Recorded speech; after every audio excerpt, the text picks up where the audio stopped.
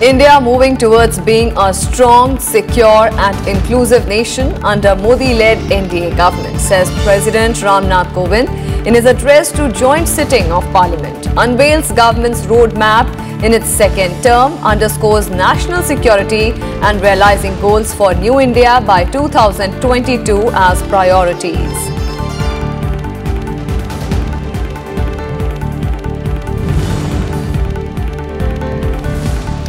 249th session of Rajya Sabha starts with tabling of copy of President's address. Two Rajya Sabha members from Assam sworn in. Prime Minister introduces Council of Ministers in the House.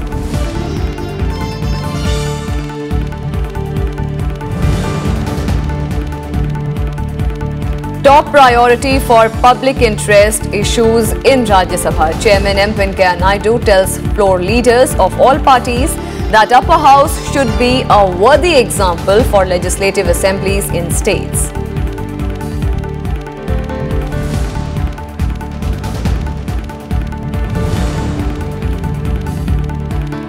Huge blow to former Chief Minister Chandrababu Naidu's TDP in Andhra Pradesh. Four of the party's six Rajya Sabha members join BJP.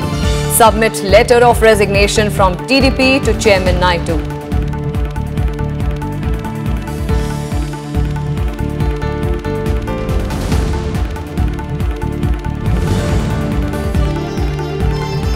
And India to lead world in celebrating International Yoga Day. Many events organized across the country. Prime Minister Narendra Modi to do yoga in Jharkhand's capital Ranchi along with thousands of residents.